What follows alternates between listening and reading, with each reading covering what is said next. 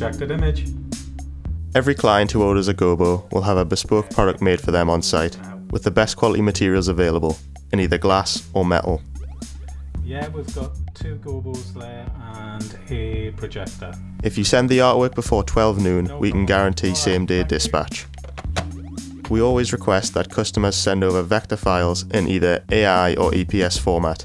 This ensures that we can produce the highest quality projected image with crisp, clean outlines. Our in-house designers will redraw and manipulate the files to prepare the customer's artwork for the manufacturing process. Once the client signs off the proof, the artwork ready file is sent to our lab for the production process to begin.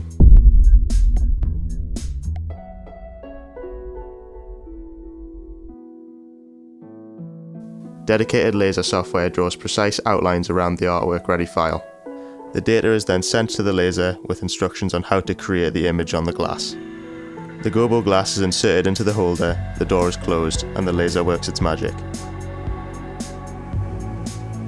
The finished gobo is then thoroughly checked by our experts, ensuring quality control.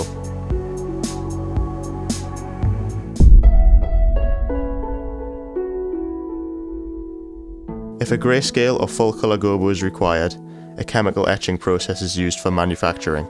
The artwork is placed onto the correct templates before being transferred to film via our super high resolution image setters. The black circle indicates the required size of the gobo. The film is then exposed onto the correct size glass. If the image is full colour, the image setter will separate the colours into CMYK layers, which are then exposed separately onto extremely thin pieces of dichroic glass. Once the images have been exposed onto the glass, they are processed with positive resist developer. Acid is then used to remove the coatings.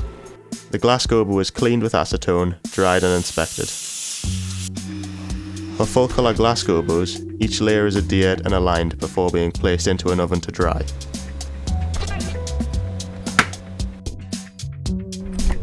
The finished gobo is checked again and carefully packed. We dispatched to our customers that night. Finished product is then ready to be projected at your event the very next day.